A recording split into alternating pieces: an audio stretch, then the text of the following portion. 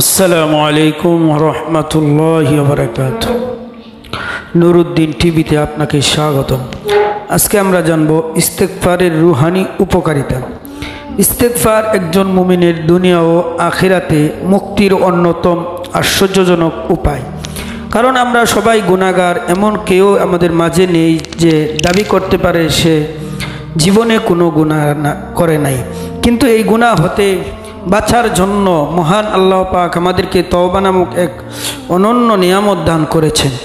একজন মুসলিম যত গুনাই করুক না কেন তওবার মাধ্যমে সে একেবারে নিষ্পাপ হয়ে আল্লাহর কাছে যাবার সুযোগ পেয়ে থাকে। আগেই বলেছি তবা আমাদের জন্য অনেক বড় নিয়ামত। মহান আল্লাহ তালার পক্ষ থেকে একটি উপহার। তবার মাধ্যমে আমরা আমাদের আল্লাহর কাছে ফিরে আসতে পারি। যখনই কোনো ভুল আমরা করে ফেলি বা কোনো সীমানা আমরা অতিক্রম করে ফেলি, তখনই তবার মাধ্যমে আমরা পুনরায় আল্লাহর দরবারে নিজেদেরকে পরিবেশন করতে পারি।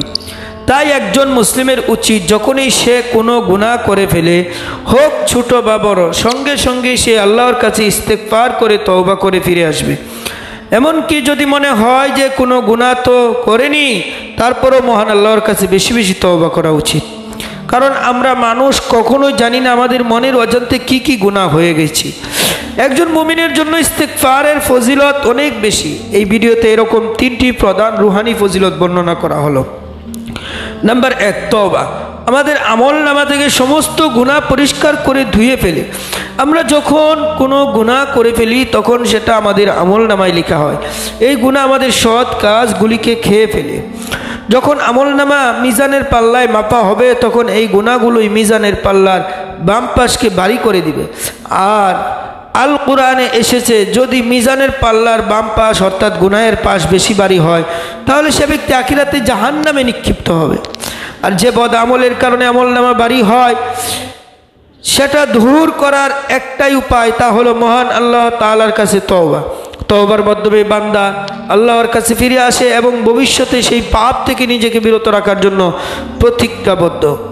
আল্লাহ তালা পরম দয়ালু এবং ক্ষমাশীল, তিনি ক্ষমা করতে ভালোবাসেন নারী বা পুরুষ যে কোনো বান্দার তওবার কারণে তার গুণা অবশ্যই মাফ হয়। আমাদের রসুল্লাহ সাল্লাহ আলী আসাল্লাম বলেছেন, মহান আল্লাহ পাক তার বান্দাদেরকে ডাক দিয়ে বলেন ও হে আদম সন্তান, যতক্ষণ তুমি আমার কাছে মাপ চাবে এবং আমার রহমতের আশা করবে, আমি তোমাকে মাফ করব। যত বড় গুনাই তুমি করো না কেন? হে আদম সন্তান, তোমার গুণা যদি বাড়তে বাড়তে আসমান পরিমাণও হয় এবং তুমি আমার কাছে মাপ চাও, তবুও আমি তোমাকে মাফ করব। এই জন্য আমি কোনো কিছুই পরোয়া করব না।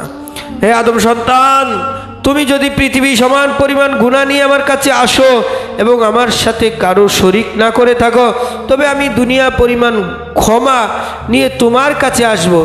তিরমিজি। একজন বান্দা যখন আল্লাহর কাছে ক্ষমা চায়, সে তার আমল নামা গুণা থেকে পরিষ্কার করতেই থাকে।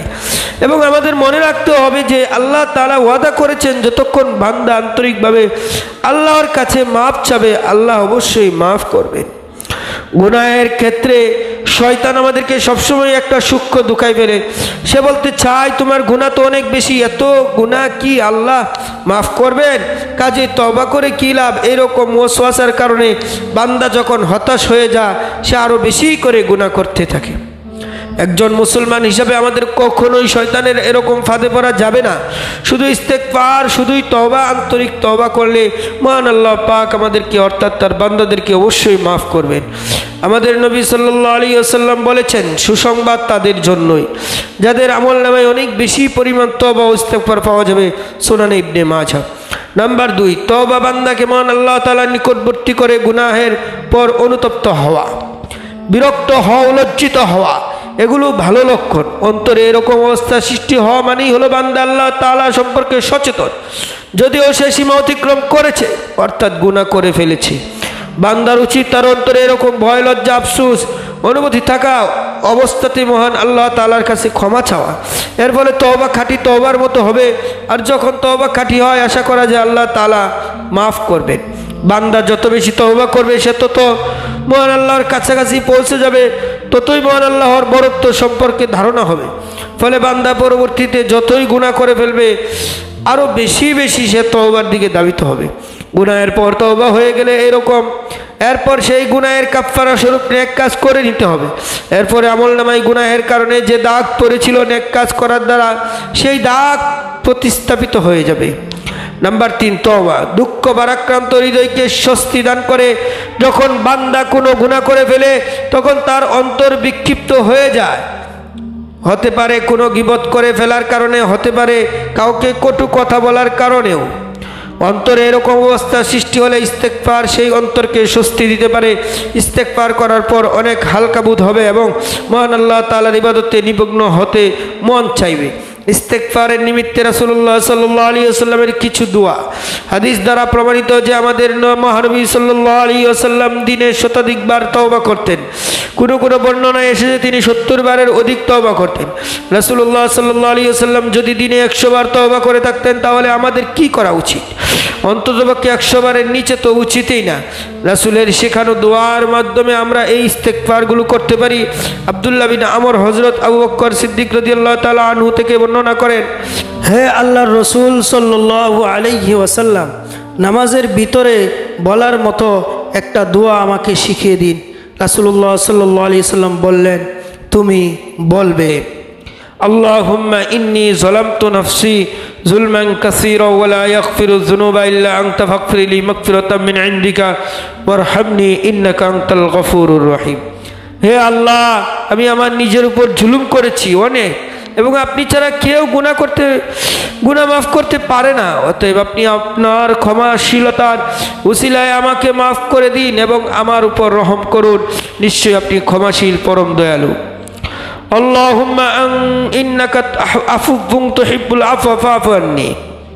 আল্লাহ, আপনি পরম ক্ষমাশীল, আপনি ক্ষমা করতে ভালোবাসেন, অতএব আমাকে ক্ষমা করে দিন। সুন্না দ্বারা প্রমাণিত এরকম আরও অনেক দোয়া আছে, যার মাধ্যমে আমরা মহান আল্লাহ তালার কাছে ক্ষমা চাইতে পারি। ইস্তেকফারের সবচাইতে ছোট যে দোয়া হলো, সেটি হলো আস্তাগফিরুল্লাহ। শুধুমাত্র আস্তাগফিরুল্লাহ জিকির করার মাধ্যমে আমরা ক্রমাগত মহান আল্লাহ তালার কাছে ইস্তেকফার করতে পারি। তবে সবচেয়ে আনন্দের বিষয় হচ্ছে আমরা মুসলমানরা সবসময় গুনার মধ্যে আছি আর মহান আল্লাহ তালা আমাদেরকে ইস্তেকফারে নিয়ামত দান করার মাধ্যমে গুণা থেকে সম্পূর্ণরূপে পবিত্র হওয়ার তৌফিক দান করেছেন। ইস্তেকফারের মাধ্যমে আমরা আমাদের রবের কাছে ফিরে আসতে পারব। আল্লাহ তালা আমাদেরকে আমল করার তৌফিক দান করুন এবং বেশি বেশি ইস্তেকফার পড়ার তৌফিক দান করুক। আমিন আমিন আমিন। আপনি যদি এরকম আরও ভিডিও পেতে চান, তাহলে আমাদের এই চ্যানেলটি সাবস্ক্রাইব করে পাশে থাকা বেল আইকনটি অন করে দিন। আপনার প্রতি শুভকামনা রেখে আজকের মতো বিদায় নিচ্ছি। আসসালামু আলাইকুম রহমতুল্লাহ।